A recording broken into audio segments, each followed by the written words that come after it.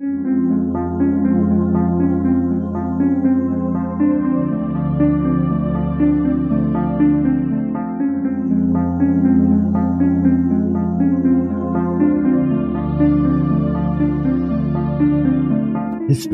tells the story of the world and of our lives.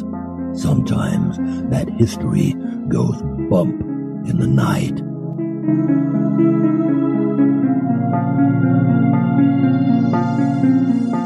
Broadcasting from the center of oddity and the supernatural in Central Florida, it's the History Goes Bump podcast. Hello, you spectacular people. Welcome to History Goes Bump Redux. I am your host, Diane. And this is Kelly. Kelly, on this episode, we're going to be revisiting the Morse Mill Hotel. And you know, so many years has passed sometimes when we feature these locations that things have changed a lot. The Morse Mill Hotel had been refurbished and reopened as a, I guess you could call it a bed and breakfast. It was an inn. A lot of paranormal investigators would go here to investigate. And so it was on a lot of people's wish list for a place to go to. Well, over the past, I'd say, year and a half, it's been a private residence. So it's no longer open to the public. Oh, that's disappointing. Which is a bummer when you guys hear about the history and the hauntings going on here. Maybe someday it will be open for us to be able to do some ghost hunts there again. We hope you enjoy this revisit of the Morse Mill Hotel. Are you ready to go back, Kelly? I'm ready.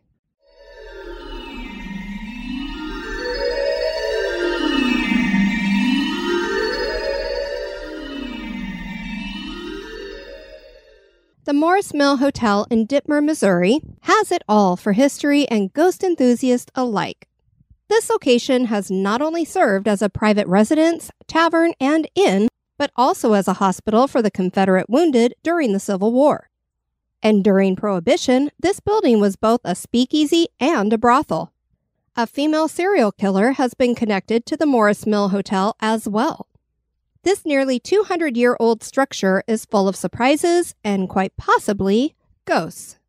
Join us for the history and hauntings of the Morris Mill Hotel.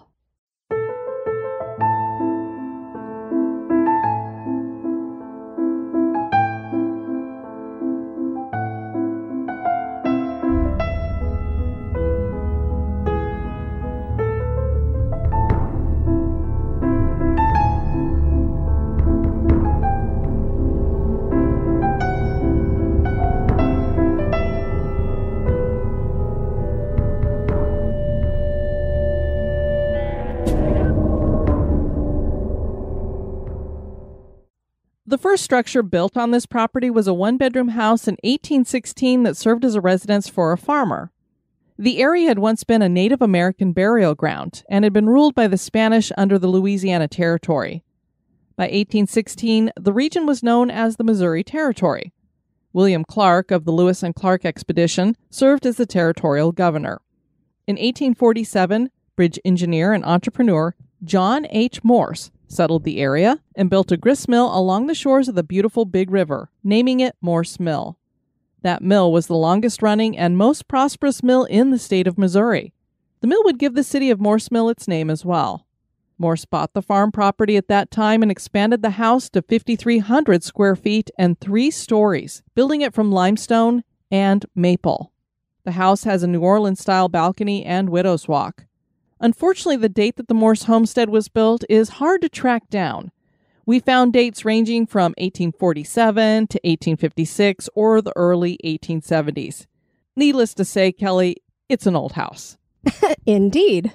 John Morris joined the Confederate Army when the Civil War broke out.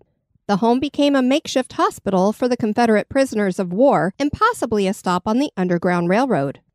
After the Civil War, Morris opened a contracting business and built the Sandy Creek Covered Bridge that still stands today and resembles a long red barn. It's very cool. It reminds me a lot of Sachs Bridge.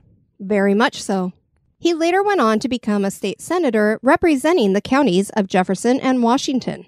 As if that was not enough, Morris opened two general stores as well. Morris had big visions for Morris Mill. He knew the area would make a fine retreat for tourists, but he did not live to witness the future playground for the rich, famous, and infamous his home would become.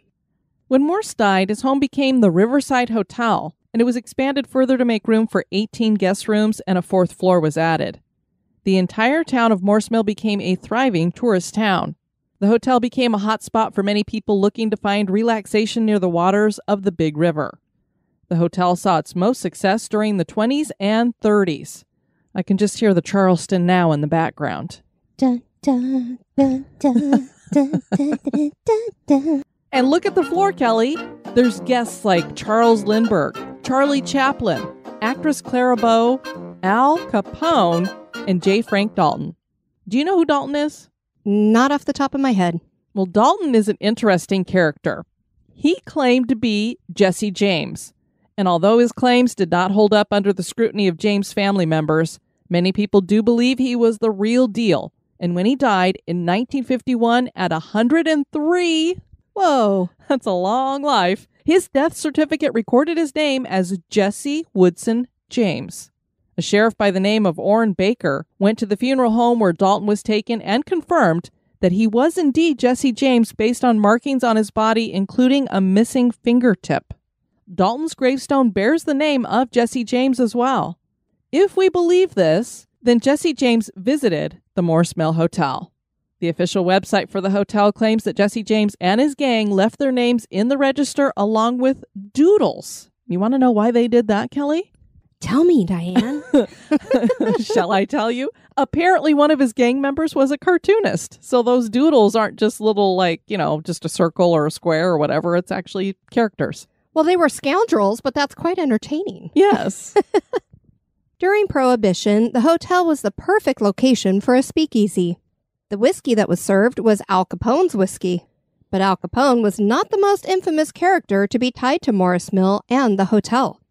That distinction goes to Bertha Gifford, who was born near Morris Mill in 1876. Bertha's family was a Christian family and well known. In her 20s, Bertha married a man named Henry Graham, and they took on the managing of the Morris Mill Hotel. Graham became ill and died. It would be years before people would surmise that Bertha killed Graham with arsenic. no. Yes, It was murder. murder. Arsenic would put Bertha in the annals of female serial killers, and she became quite prolific. After Graham died, Bertha married Gene Gifford, a man she was rumored to be having an affair with. They moved to Catawissa, which was several miles away, in 1911. That same year, Bertha went to the Pacific Pharmacy and purchased a large amount of arsenic for rats, quote unquote. Yeah, I'm sure she was killing some rats. well, maybe the size of Chuck E. Cheese. well, that could be. In 1917, she would also make large purchases of arsenic from the Powers Pharmacy. Bertha was known to be a great cook, and she made great candy. Candy that killed. Ooh, that sucks because I love candy. Not this candy.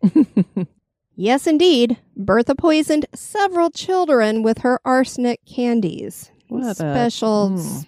Yeah, there's a special special bit place of- for her. yeah, special bit of evil, that one. Sherman Pounds was a drunk who spent some time at the Giffords farm.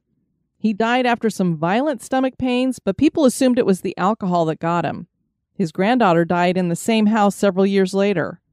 Bertha made potions too that she administered to people on their sick bed. Gene's mother died, and then his younger brother. Jim Ogle, a hired hand they owed money, came down with malaria or something, and Bertha nursed him to death.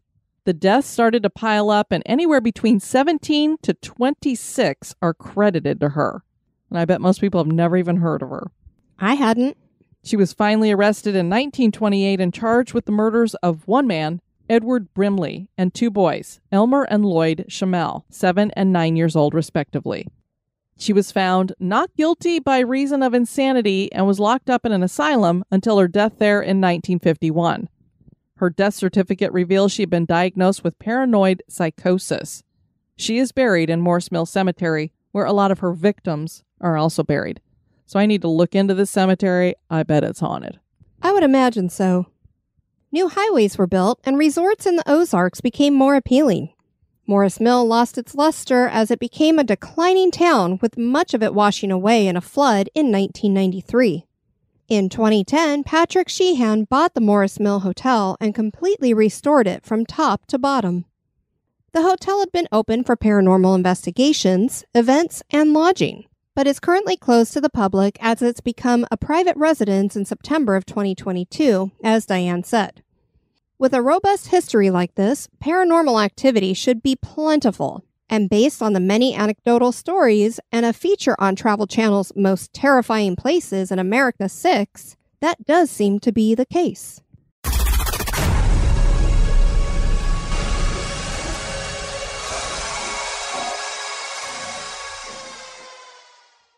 Back in the day, Dawn Conan was a tour guide at the Morse Mill Hotel.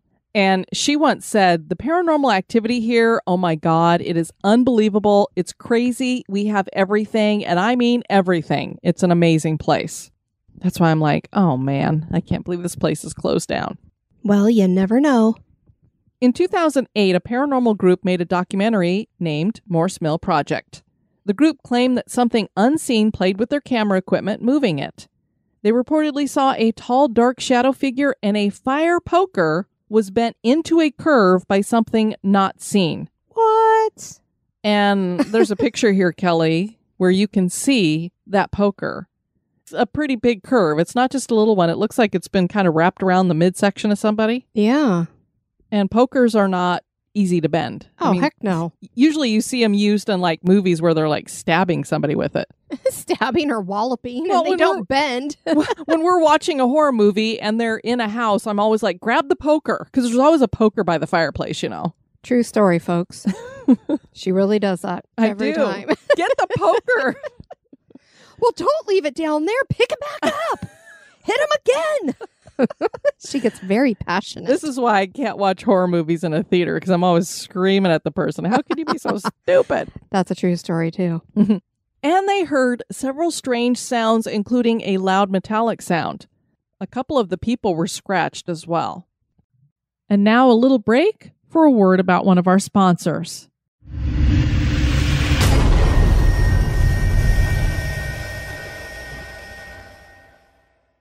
Patrick had gotten used to the paranormal activity, even though he had no idea that the place was haunted when he bought it. Disembodied footsteps were a common occurrence at what he took on as a project. Glowing orbs were seen, doors opened and closed on their own, locks are locked and unlocked, and apparitions have been seen. A group that included police officers investigated the hotel in February 2015, and they reported The K2 and flashlight sitting on display cabinet started lighting as soon as turned on and placed on case. One officer thought he heard someone whispering behind him. He turned around and no one was there. One of the young girls felt dizzy and had to sit down all of a sudden. She felt better after moving to a different area. Whoever wrote this also says, We kept hearing noise outside the window while I was giving history. I actually stopped and had Dawn go outside to check the noise. No explanation, and it started again after she came in. One of the officers is part of a SWAT team, and he brought his night vision glasses. While I was finishing the history, he started to see a figure behind the large upright display case. At first, all that he could see was the legs. At least two of the other officers looked and agreed that it wasn't a reflection of any of us in the room. Several of the group tried the dowsing rods. They all received responses to the questions they were asking while holding the rods. I had placed a flashlight on the stairs, and while we were using the dowsing rods, the flashlight started going on and off in response instead. Now, I know that Dawn is the uh, tour guide that I just mentioned, so this could be another tour guide that usually had been working with her, who was named Maribeth, or it could have actually been Patrick, who also led tours as well. And Dawn had brought her son on a tour once. And, you know, Kelly, we always say, don't be mean to the spirits, don't tempt the spirits, or don't disrespect a ghost. They decided they wanted to do the flashlight experiment. So they set that up. And Dawn says her son, who was named Alec, asked, Are you a female? And the flashlight didn't come on. So then he said, Are you a male? And the flashlight came on. Okay, can you turn it off? He asks, and the flashlight goes off. Then his next question was, Do you have a son? And the flashlight came on. Alec decided to be kind of cheeky. He was 19 years old. It was his first time on a ghost tour, so he muttered under his breath, I'll beat his ass. When Alex said that, the flashlight turned off And then Alex said, My neck is burning. We shined the flashlight on him, and he had a scratch three and a half inches long that welted. Well, I guess you shouldn't have said you were going to beat his ass. not very respectful, was it? Dawn reported that kid was followed the rest of the night and received three more scratches on his body. Well, I'm just going to say it. again. well, you get what you get. A ghost by the name of Annabelle, who claims to be a 12 year old, lives in the attic. The entity purportedly plays with toys brought by investigators. However, we did find other investigators that reported that this spirit claims to be five or six years of age. In the basement is a room that contains shackles and a body was buried there. The ghost of a former slave is reported to haunt this area. Clattering of cooking implements are heard in the kitchen. Both of the Giffords are thought to haunt the location, but we doubt that. Bertha's first husband, Henry Graham, would be more likely. Yeah, because Bertha didn't die here, so I don't know why she would return back to here. Spirits have been witnessed outside of the house, too. Many groups have recorded EVPs. Most experiences are not negative. There are claims that at least 20 spirits are on the property. And there was a picture that was shared, and it has this image that was captured on the attic stairs. It kind of looks like a little girl in a dress. It does. Yeah, it looks like she's hanging on the banister and kind of leaning back and looking Mhm. down. Yeah, that's the way I see it. If it's the real deal, of course, we didn't take the picture, and I always have a hard time trusting that stuff, so I don't know. Kat and her sister investigated in September of 2021, and they had quite a bit of activity. They started in the basement, and their EMF devices went off like crazy, and their flashlight turned off and on. They kept hearing odd noises, slight bangs, thumps, and other noises. Kat then caught the scent of death, which later changed to the scent of flowers. Now, I find Huh. that interesting because when you think about it, if they had people who were in the parlor or whatever, you would kind of get that scent of death, but then also they would be trying to cover it over with all the flowers. That's why we have flowers at funerals. True. And so it makes you wonder if it's not that they're kind of getting some kind of residual from trying to beat both of those scents back with each other, get the death scent overpowered with the flower scent. They then turned on an ovilus and they got the name Henry, who was possibly Bertha Gifford's first husband, Henry Graham. The next word was Riley. I guess they were trying to talk to our dog. Perhaps. And then Jason, and Jason supposedly was the name of one of the Morse family members. Maybe it's him. They also got the word stuck. Kat's ears suddenly started to ring loudly. They got similar activity in the attic and Annabelle's room. They wrote, Then Kat inhaled deeply as if shocked and said, Something moved in the hallway, a shadow. She thought she saw something behind her through a reflection in the window, but it seems to have been only in the window. She also saw something across the room by the chair. Kat freaked out and said, Okay, I can't do this. We need to turn on the lights. She saw something white like a cloud of smoke over by the chair. So we turned on the lights and decided to promptly leave the room.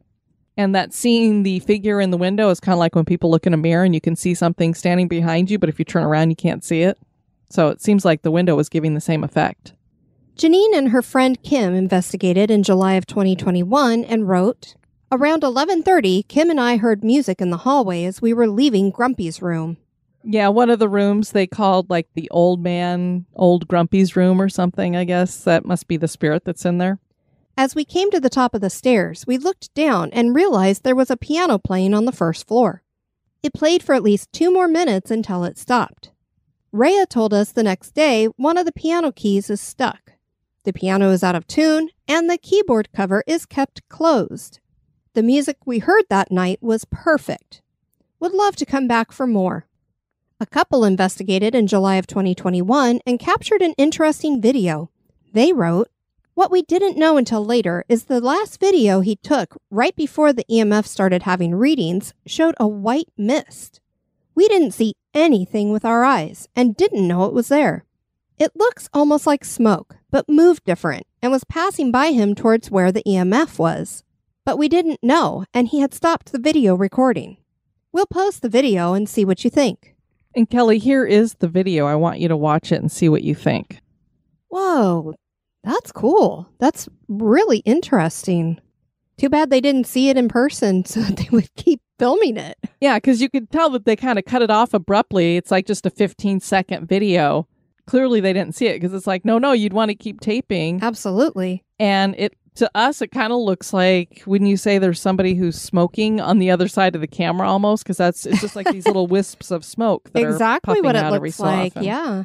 We'll put that up on Patreon for our executive producers, and then as this goes out to the free feed, hopefully I will remember to put it up on Instagram too.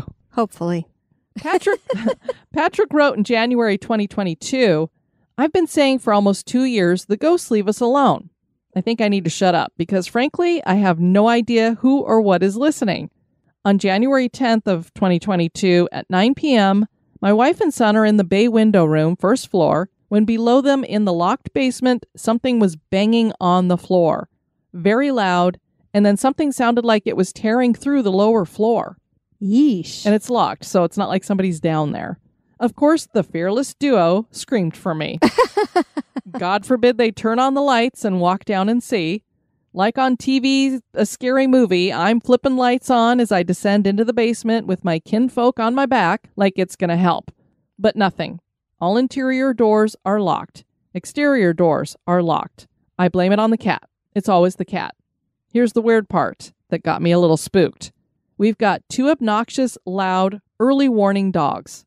Ankle biters, shark bait. They are growling, not moving, just growling. Then we have a fearless yellow retriever. This big guy will sneak up to you in pitch black and see if he knows you. I've seen him beat three separate pit bulls.